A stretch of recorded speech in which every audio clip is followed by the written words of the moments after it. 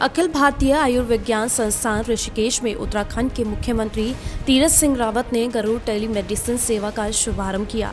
इस सेवा के ज़रिए राज्य के सभी 110 तहसील में 800 से ज़्यादा चिकित्सक और मेडिकल छात्र मेडिकल संबंधित जानकारी और परामर्श देंगे। मुख्यमंत्री ने कहा कि ग्रामीण क्षेत्र में कोरोना संक्रमण का ग्राफ लगातार बढ़ रहा है। इसीलिए अधिकारियों को ब्लॉक स्तर पर कंट्रोल रूम बनाए जाने के लिए निर्देश दिए गए हैं।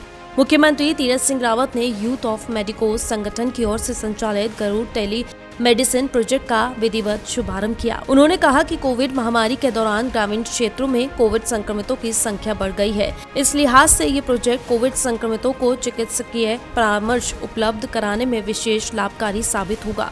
कोविड के संक्रमण को कम करने और समय पर उपचार के लिए उत्तराखंड में अन्य राज्यों की तुलना में डेढ़ गुना ज़्यादा टेस्टिंग की जा रही है। कोरोना की तीसरी लहर से निपटने के लिए राज्य के सभी ग्रामीण क्षेत्रों में स्थित सामुदायिक स्वास्थ्य केंद्रों तक ऑक्सीजन प्लांट लगाने की योजना है।